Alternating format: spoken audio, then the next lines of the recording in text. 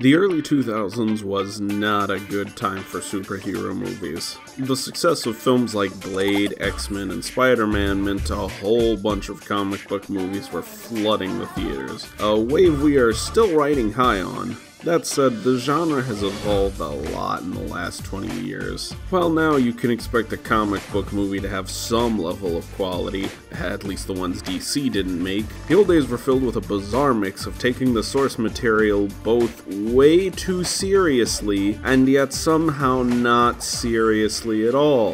Films like Catwoman, Fantastic Four, and the X Men sequels exemplified this. And right among them came the 2003 critical and financial failure Daredevil from Mark Steven Johnson. Daredevil exists in an odd place where it's wholly unremarkable. It's not bad enough to be ironic, but it's not good enough to be well, good.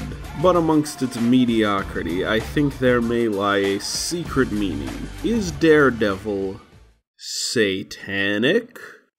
And it's at this point I should probably say no, this is not some insane conspiracy bullshit. I don't think the Satanists are running Hollywood. I just think this movie happens to display a couple of the ideas present in the modern day Church of Satan.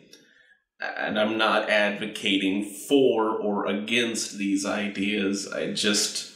It's a lens I want to look at this movie through, and I think I have some solid evidence to back myself up. So bear with me. Anton LaVey's Church of Satan is quite a bit different from the evil black mass type cults that had previously occupied the realm of devil worship. While LaVey's church pulled its imagery from the occult, that was more a way of establishing themselves as being at odds with Christian values. The Satanists' conceit is this if God exists in the way Western religions, particularly Christianity, claim he does, he's doing a bad job and ruling through fear. Thus, it's better to deny God and follow Satan to freedom. I reiterate, not something I am arguing for or against. I should probably add here that, in general, Satanists don't believe in God or the devil, so my assertion might be a little off base. But it is the point of view I am going to argue this movie has. So, how does this apply to the film Daredevil? The parallels between Matt Murdock and Satan should be obvious. He's dressed as the devil. What's more, he's often framed in fire, a symbol generally associated with the devil. In fact, the symbolism starts from the very first scene where he literally falls from grace, symbolizing Satan being cast from heaven in the book of Genesis. And he doesn't just fall, he falls off a church where he was clinging to a cross. Plus, he's a lawyer. And it's clear he's meant to be a satanic take on the devil. He's never seen as evil or a tempter. Instead, he punishes the wicked, reminiscent of the popular conceit how can Satan be evil if he punishes evil? In fact, in one of the most hilariously melodramatic moments in the film, Daredevil scares a child and mopes, I'm not the bad guy. I'm not the bad guy. This again parallels Satanism's idea that Satan isn't the bad guy. Which brings us to the actual bad guys. Kingpin, an all powerful overseer who kills innocents and speaks with a booming voice, and Bullseye, a miraculous marksman with a cross ingrained in his forehead, sent by the Kingpin to stop the devil. Admittedly, Kingpin is a bit too underdeveloped for me to provide much evidence that he's supposed to be God, but I am certain Bullseye is a Christ figure. Just take a look at his death. This, I think, is the moment that most exemplifies the satanic messaging.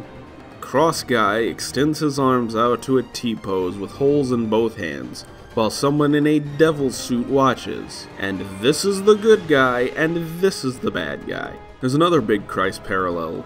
In the post credits scene, which I didn't even know existed the first two times I watched this film, we find Bullseye is still alive, a cliffhanger that was definitely resolved in this film's many successful sequels.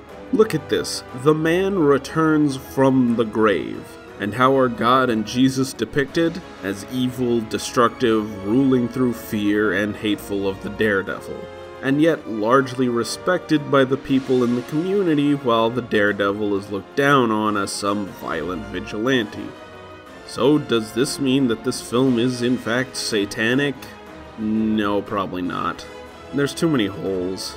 Uh, who would Elektra be in this parallel? Uh, what about Jon Favreau or the fact that Matt is a lawyer? Maybe I'm onto something? Some of the stuff does seem to make more sense through a satanic lens, but I think it's just the trope of religious symbolism in superhero movies running up against a clueless director.